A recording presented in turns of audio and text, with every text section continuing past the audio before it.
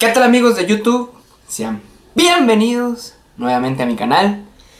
El día de hoy voy a hablar de un tema con el que nuevamente se van a sentir identificados la mayoría. Y gracias a la respuesta que tuvo el video de por qué la gente no quiere estar en el grupo A, Atendiendo obviamente sus peticiones, pues decidí grabar este video en el que voy a hablar de momentos típicos del TEC, momentos o situaciones, donde como les digo, más de uno se va a sentir identificado. Así que, para no ser tan largo este video, vamos a comenzar. A comparación de la One, señores, en el TEC todo mundo queda. Efectivamente, aunque no lo crean, todos, o si no la gran mayoría, que es el 90%, quedan en el TEC, pero a comparación de la One, lo difícil es mantenerse. Bueno, más que nada no mantenerse, sino que todos se mantienen, pero muy pocos son los que ya se empiezan a salir. A comparación de la One, que la mayoría sale, señores. Con 3.9 dicen que sube a 10, yo no sé. No se crean. Voy a tratar de ser lo más general posible y que todos se sientan identificados con estas situaciones. Pero una disculpa si en ciertas eh, situaciones lo enfoco más a mi carrera por si no se sienten identificados, pero voy a tratar de ser lo más general posible. Una de las situaciones típicas, señores, y creo que a la mayoría le pasó, por lo menos en mi caso, es que antes de entrar al TEC, todo mundo te quiere asustar.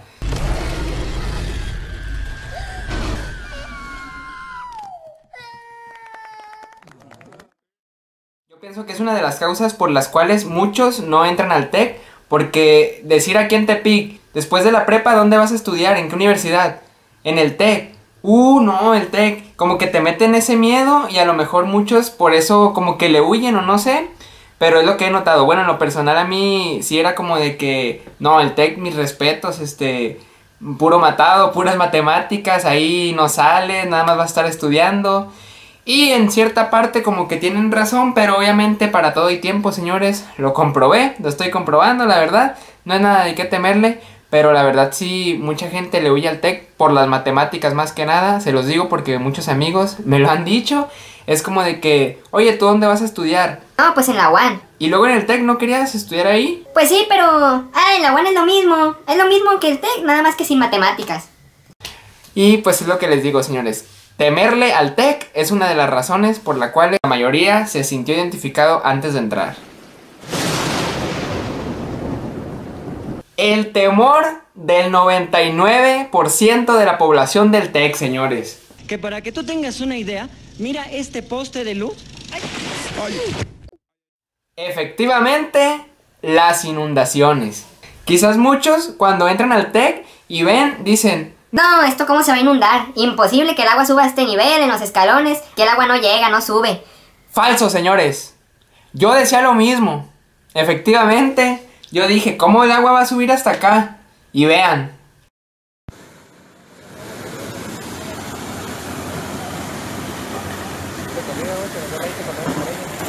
Encontramos transmitiendo en vivo desde el TEC. Después, aquí con el solo, de una tormenta tropical. Y efectivamente, me ha tocado la típica inundación del TEC, donde ocupas tu lanchita, tus botitas de, de lluvia, no sé, porque la verdad sí se hace un inundadero, señores. Ese es uno de los temores que todo alumno del TEC, bueno, la mayoría, tiene al entrar a la institución, señores.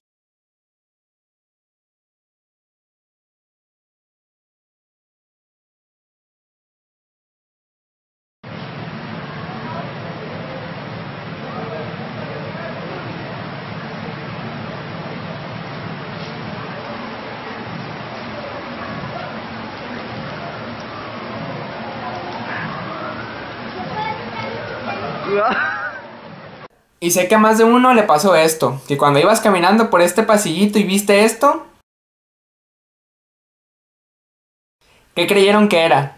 Efectivamente, yo creí que era una virgen, señores, creí que cuando la iba a ver de frente iba a ver a la estatua de la virgen, pero cuando volteas y ves esto... ¿Qué es lo que les digo, señores? ¿Acaso son unos peces? ¿Son unos peces porque nos inundamos? Es burla esto ya, señores. No, no se crean. Pero quiero agradecer a mi amiga Telma Gutiérrez y a mi amigo Jesse Basoni por ayudarme a tomar esas fotos, ya que cuando yo había grabado el video, pues no estaba en Tepic y no alcancé como para ir a tomar las fotos. Saludos. Algo que he notado, señores, es que cuando recién inician las clases en agosto, todo está bien lleno de alumnos, pues. Este, estacionamiento lleno, la parada del camión llena, señores. Yo no sé de dónde sale tanta gente. Pero no sé qué pasa, que como a las dos semanas, no sé si les empieza a valer o ven cómo está la situación. Y ya, dejan de ir, se despeja, pues ahí todo el ambiente, ya bien tranquilo. Y tú te quedas como de que... ¿Y todos los alumnos que estaban las primeras dos semanas, dónde están? O sea, así se siente el cambio de cuando vas entrando al semestre a cuando va pasando el tiempo. Y pueden ser dos situaciones, señores. Una, que vean al profe y digan, No, este profe. Bien fácil me la voy a aventar. y dejan de ir.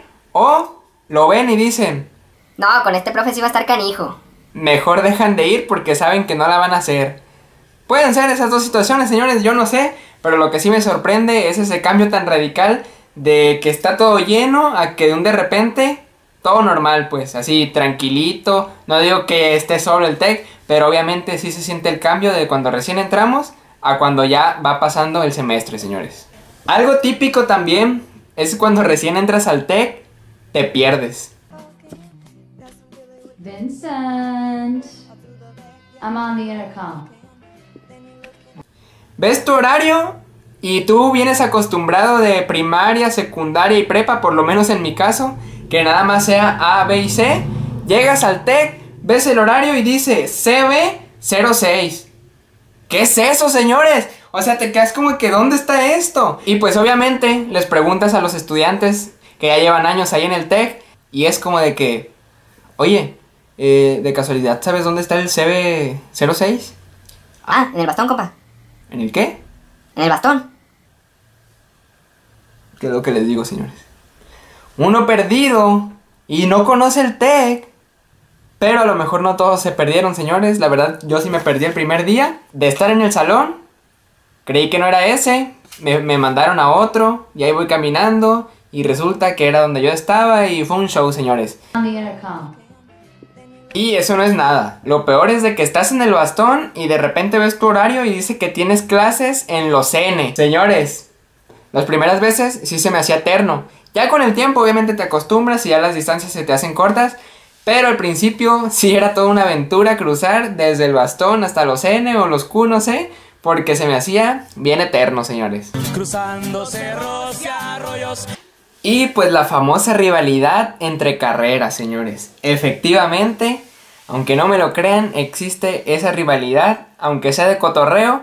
Unas unas peleas. Y les voy a dar algunos ejemplos. Está la rivalidad entre los ingenieros industriales contra mi carrera, que es Ingeniería en Gestión Empresarial, donde dicen que solamente somos unos eh, licenciados en administración, pero con casco. Porque, pues, otra rivalidad es nuestra carrera Ingeniería en Gestión Empresarial con los de LA, donde dicen que los de LA no sirven para nada, que para qué tienen esa carrera, que un montón de cosas, señores, que ni para qué les digo. Pero existe esa rivalidad, señores, con los LA y con los IGE, los IGE y los industriales. Y otra de las rivalidades que se da mucho en el TEC es ingeniería civil con arquitectura. Que las arquilocas, que no sirven para nada, que nada más sirven para diseñar interiores, que los ingenieros civiles son albañiles con casco. Y no voy a negar que todas las carreras para mí son, tienen su chiste, tienen su dificultad, tienen mi respeto, la verdad. Este, yo sí he cotorreado con ese tipo de chistes, pero no por eso quiere decir que, que, que no haya respeto para ellos. Señores, como les digo, siempre va a existir ese tipo de rivalidades, pero pues es parte del show. Al final de cuentas, nada más es puro cotorreo. Ya habrá quien se lo tome en serio, pero yo creo que, que no debe ser así. Al final de cuentas, pues todos somos parte del tecnológico, somos tigres, este, y no me van a dejar mentir que tenemos un tech de los mejores, lleno de áreas verdes.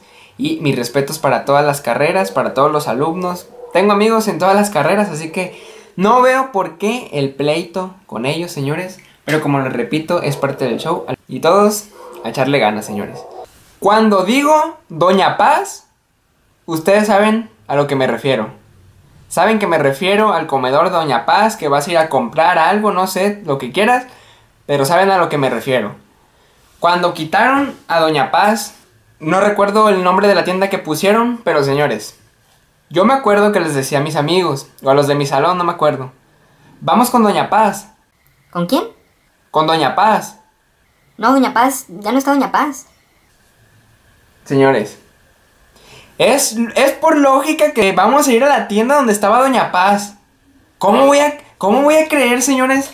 O sea, ya sé que no está Doña Paz, pero obviamente sabes a dónde vamos a ir. ¿Cómo voy a creer que me vas a decir? No, pues es que Doña Paz ya no existe. ¿O a dónde vamos a ir? Seguramente, señores. Si ya saben. Ay, no. Bueno, eso es algo típico. A lo mejor a más de uno le pasó. Es algo típico del TEC.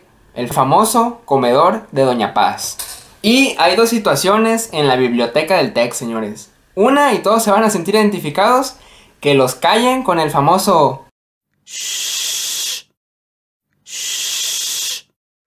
Es obvio, señores. Y la otra es cuando hay un evento y no te dejan pasar a la biblioteca porque efectivamente el evento es en la biblioteca. O sea, tenemos audiovisual, están los famosos Ligby, pero no sé por qué todos los eventos tienen que ser en la biblioteca, señores. Y es de que vas llegando y ya no te dejan pasar, o de repente ya ves las sillas acomodadas, las mesas a los lados, que es lo que les digo, señores. Y sé que más de una vez les pasó. Si yo los vi, señores, yo vi cuando estaban ahí que los corrieron, que los sacaron o que se regresaron. Y típico que en el TEC los famosos 70s te saben a 100, señores. Más en una materia en la que le batallas, porque sabes que a lo mejor y truenas, pero cuando ves tu 70 en el sí, te sabe a gloria, señores. Haz de cuenta que estás viendo el 100. Y bien nos decía un profe, el famosísimo Raúl Rubio. Más de uno lo va a conocer. Me acuerdo que nos decía, después de la raya es gol. 70. Lo demás es vanidad. ¿Sí o no es cierto, señores? Ya lo demás es para una bequita, para esos que puro 100 quieren sacar, que no bajan de 90. Pero efectivamente, después de la raya es gol y te sabe a 100. Hay algo, señores, que no sé qué es lo que pasa, que cuando más te urge sacar una copia o imprimir, vas a los famosos J y todo está lleno. Como que si en ese mismo momento a todos se les ocurrió ir o todos tienen la misma urgencia y todo se llena. Y cuando vas así a acompañar a tu amigo, bien tranqui, bien vacío. O que de repente la computadora no, no quiere jalar para mandar a imprimir. Y al final de cuentas ahí terminas yendo enfrente del TEC a sacar copias. ¿Sí o no es cierto, señores? Yo sé, que yo sé que les pasó eso. Si yo los vi, señores. Yo estaba ahí atrás de ustedes.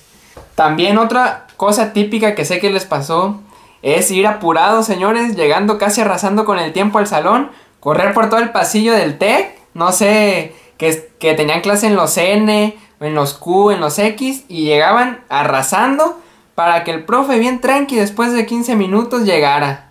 Y eso no es nada, señores. Lo peor es que cuando tú llegabas y de repente avisaba el profe que no iba a poder ir.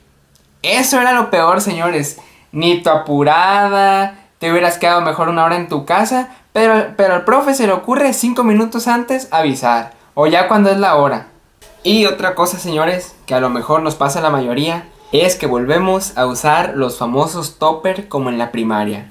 Efectivamente, señores, a lo mejor secundaria y prepa es de que decías, No, ¿cómo, cómo voy a llevar topper si... Qué vergüenza, mejor compro ahí en la, en la tienda. O no sé cómo voy a llevar topper ni que estuviera en la primaria.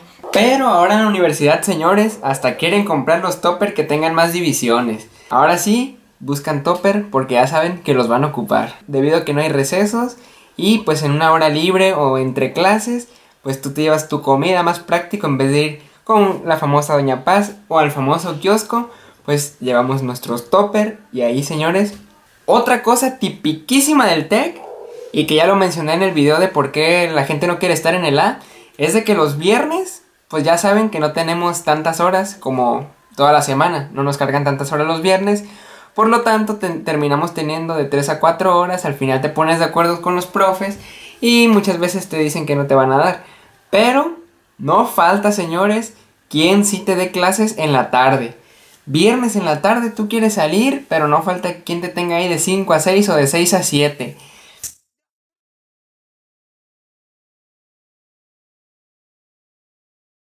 Señores, ¿cómo voy a creer esto? En vez de, en vez de que te recorran la hora en la mañana o que te den el día y que te lo repongan en la semana, no. Tiene que ser la clase precisamente a la hora que viene marcada en el horario. Y yo sé que a ti te pasó. Y no sé si esto pasa en todas las universidades, señores, pero por lo menos en el TEC pasa una muchacha por el área de civil.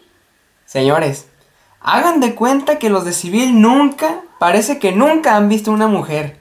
Como que si de veras le- les chiflan, se les quedan viendo, pero así como no despistan nada, señores.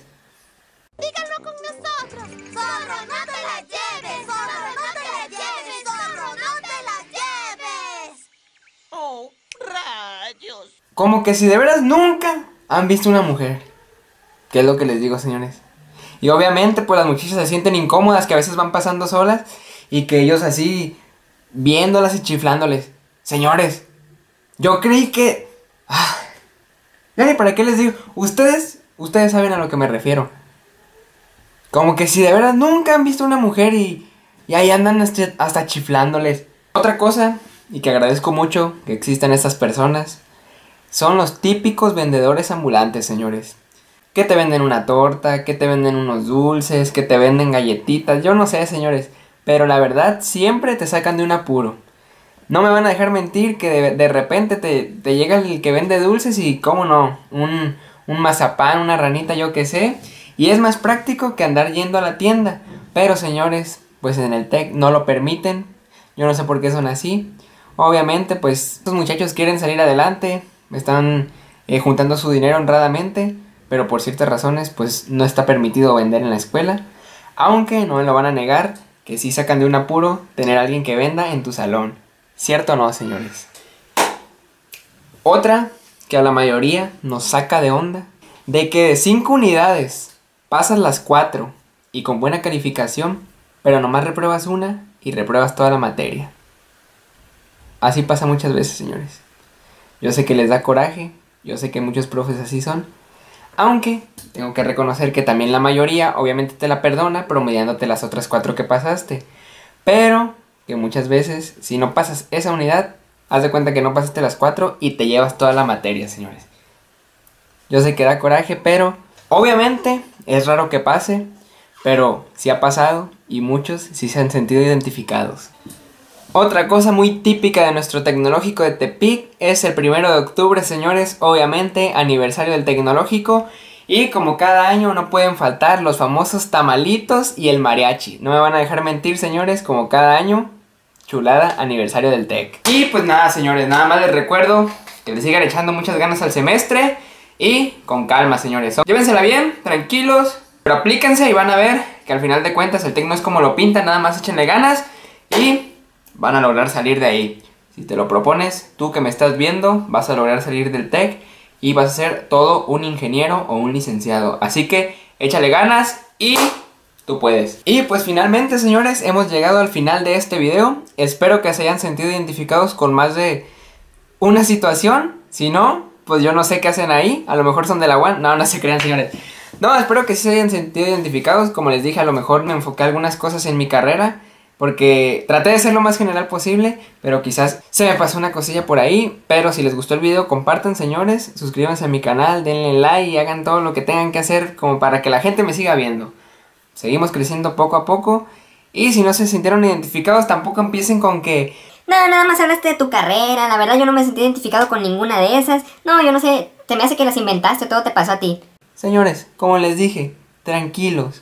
Sé que con más de una se sintieron identificados. No me van a dejar mentir porque yo los vi. Yo estaba en el TEC cuando les pasó eso.